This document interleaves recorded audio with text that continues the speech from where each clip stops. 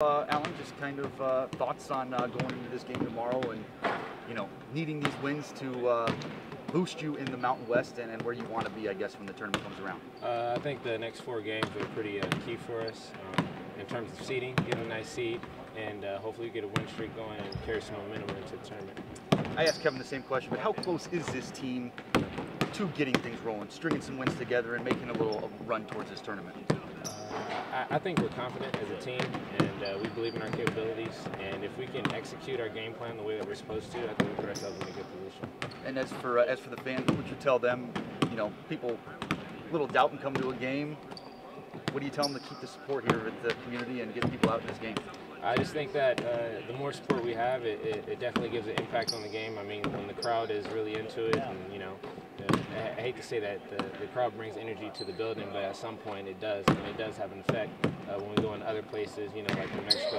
And uh, if, if, people can come out and, and, and, help us get this done, then it, it'd be a lot better for us. Lastly, from me, just talk about the season for you, man. It's uh, kind of a new thing going on at Fresno State with you. Just uh, in your own words, how's this season been for you? Uh, it's been up and down, I would say, in terms of you know just wins and losses here and there, and uh, I just think that we're finally getting to our, our own little groove uh, with each other, learning where each other's going to be on the on the court, and uh, hopefully it transgress over into a few games. Still happy with coming to Fresno State? Oh yeah, no doubt, no doubt. Allen, can you talk about the last two games, two overtime games, uh, two points in Wyoming, a loss, 11 points in Nevada, a win. What finally clicked? What clicked for you guys down the stretch in Nevada?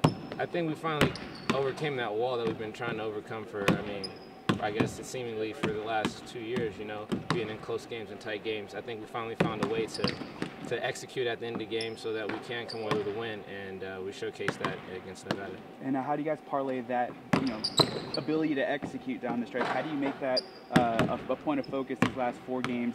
Get out of the conference cellar, get out of a playing game to uh, determine.